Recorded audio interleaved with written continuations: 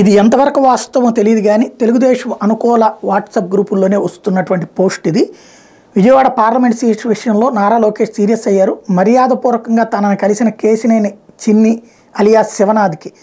Class speaker Lokesh MP సీటుపై అనవసర ప్రచారాలు చేయొద్దని ఆయనకి తేల్చి చెప్పారు. ఆగ్రహం వ్యక్తం చేశారు. టిక్కెట్ల మీద తుది నిర్ణయం చంద్రబాబుదేనని అప్పటిదాకా సంయమనం వహించమని లోకేష్ ఆదేశించారు.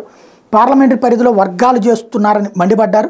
కలిసి పనిచేయకపోతే కఠిన చర్యలు ఉంటాయని హెచ్చరించారని పార్టీకి ఇబ్బందికర పరిస్థితులు కలిగిస్తే చర్యలు ఉంటాయని కూడా లోకేష్ హెచ్చరించారన్నటువంటి ఇందులో కీలకం. టికెట్ ఎవరికి ఇచ్చినా అందరూ కలిసి పనిచేయాలని లోకేష్ ఆదేశించారని వర్గాల్ని ప్రోత్సహించే సహి ప్రోత్సహిస్తే సహించేది లేదని లోకేష్ చెప్పారన్నటువంటిది ఇందులో కీలకమైనటువంటిది. లోకేష్ని కలిసిన తర్వాత ఎంపీ సీట్ తనదేనని మరొక వైపున కేసినేని చిన్ని వర్గం ప్రచారం చేసుకుంటుంది అన్నది వీళ్ళు చెప్తున్నారు.